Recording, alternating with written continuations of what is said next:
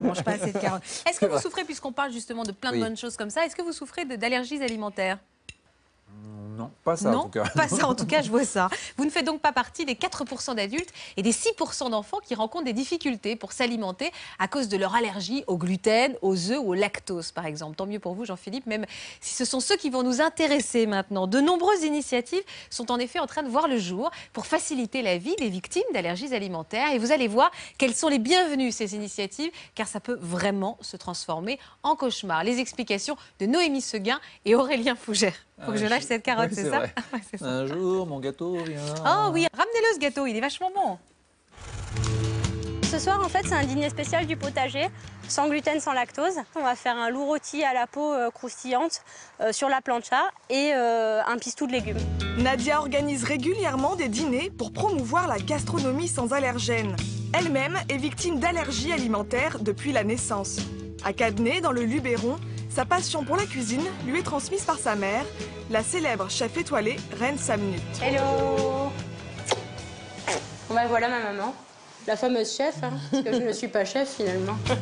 Enfant, impossible pour elle de manger les petits plats de sa mère. Comme euh, elle ne digérait pas, qu'elle vomissait et, et, je vous passe les détails.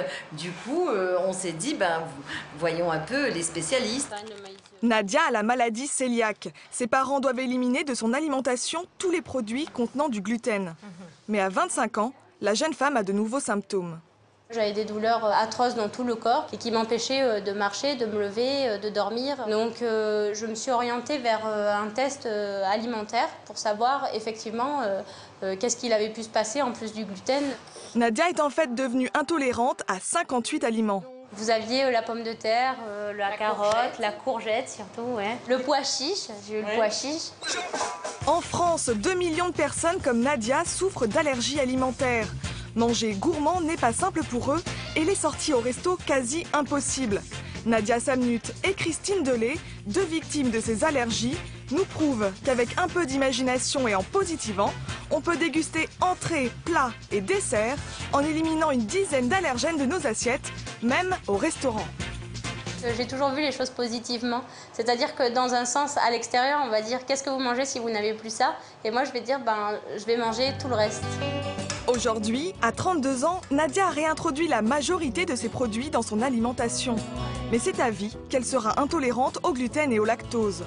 Forte de son vécu, elle apprend à cuisiner pour elle et pour les autres. Tu piques Faut pas que ça les explose. On va les mettre au four. Je reviens dans trois quarts d'heure, d'accord? À tout à l'heure pour ceux qui n'ont pas la chance d'avoir une maman chef étoilée, le premier restaurant où les allergènes sont bannis des assiettes vient d'ouvrir à Lyon. Christine Delay s'est lancée dans cette aventure car elle-même est allergique et souffrait de ne plus pouvoir sortir au restaurant.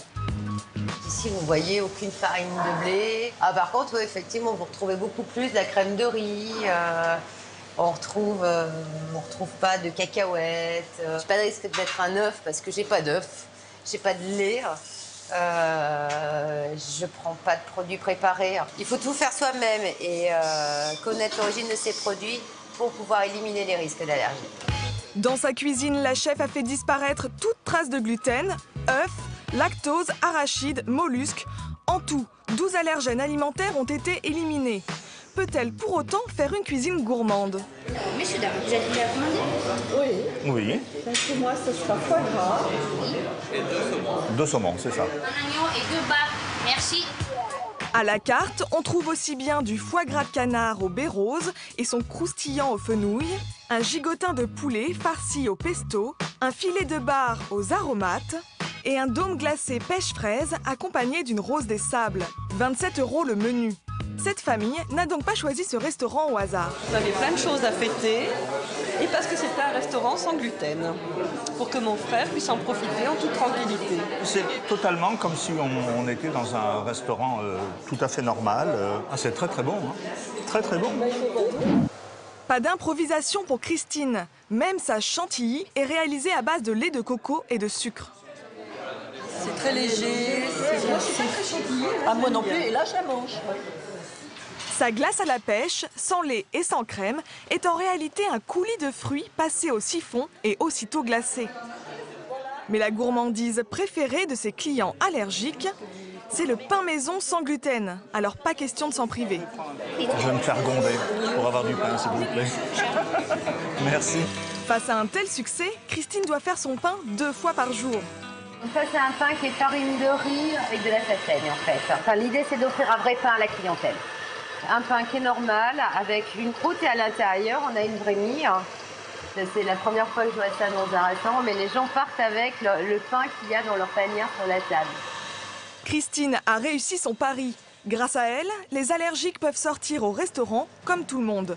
La réaction d'Hugo, l'un de ses premiers clients, l'a beaucoup marqué. C'est un petit garçon qui était polyallergique, donc il avait pas mal de produits qu'il ne pouvait pas manger. C'est un vrai bonheur pour lui de pouvoir enfin aller au restaurant, puis pour ses parents aussi, parce qu'ils ne pouvaient y aller.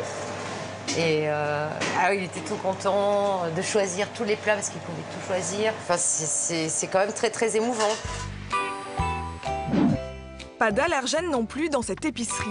À Lyon, Fabien Relave est à la tête de l'un des rares magasins destinés aux allergiques. Il propose aux clients plus de 500 produits. Hamburgers, pâtes, plats cuisinés et même du chocolat sans fruits à coque. Sans noix, sans amandes, sans arachides, sans lait et sans gluten. Voilà, et même sans œufs. Donc c'est adapté à des enfants allergiques alimentaires euh, euh, qui, pour le coup, euh, en consomment beaucoup. Et alors vous, vous l'avez goûté ce, chocolat? Euh, oui, j'avoue. Et alors Il est bon, il est très bon. ouais. Une seule précaution à prendre pour les clients, Il faut euh, quand même vérifier effectivement que les ingrédients euh, correspondent à ces évictions euh, et euh, vérifier les pictos. Seul bémol pour les allergiques, les produits sont en moyenne 30 à 40% plus chers que leurs équivalents classiques. Chez Nadia, dans le Luberon, Bon appétit, alors merci de participer à mon dîner euh, sans allergènes. des amis de la jeune femme sont venus déguster un loup rôti à la plancha. Parmi eux, quelques allergiques, alors là encore, des précautions sont prises. C'est une cuisine euh, extérieure qui n'a jamais touché le gluten ni euh, le lactose non plus. Le but, c'est d'arriver à faire participer euh, les amis, euh, les, les personnes qui viennent aussi euh, dîner. Et euh, il y a des amis à moi qui aimeraient bien euh, parfois cuisiner pour nous et qui ne peuvent pas toujours parce que ben, leur, euh, leur cuisine est infestée. Oui, oui, infestée. Alors voilà le pistou de légumes, les légumes du potager. hein. Preuve que même en supprimant tous ces allergènes, les plats sont savoureux et gourmands. Il n'y a plus rien. S'il n'y avait pas la télé, je lècherais l'assiette.